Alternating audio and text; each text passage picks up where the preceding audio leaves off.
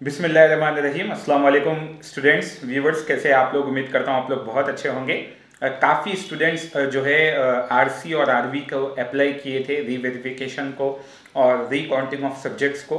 Recounting की fees जो है वो 400 350 थी और रीवेरिफिकेशन की पर सब्जेक्ट जो है वो ट्वेल्व हंड्रेड रुपीज़ थी टॉस के टेंथ क्लास के स्टूडेंट्स के लिए और इंटरमीडिएट के स्टूडेंट्स के लिए। तो बहुत जने जो है मार्क्स को इंक्रीज़ करने के लिए या फेल होने की वजह से जो है, पास होने का सोच के जो है अप्लाई किए थे ऑनलाइन आरसी को री काउंटिंग को और री वेरिफिकेशन को। तो बहुत जने परेशान है, सर, इसका आरसी आरवी का रिज़ल्ट कब आता है? कैसे इसका रिज़ल्ट आता है?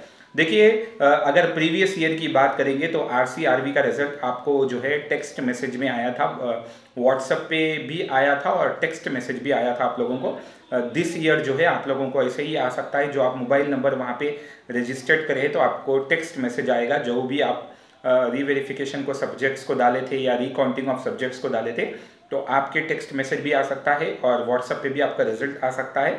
तो ये दो चांसेस है, क्योंकि एप्लीकेशन फॉर्म में वहाँ पे पूरी डिटेल्स पूछा था एड्रेस के साथ चांसेस है कि आपको जो है मोबाइल टेक्स्ट मैसेज भी आ सकता है रिकाउंटिंग और रिवेरिफिकेशन का रिज़ल्ट और टेक्स्ट मैसेज भी आ सकता है व्हाट्सएप भी आ सकता है।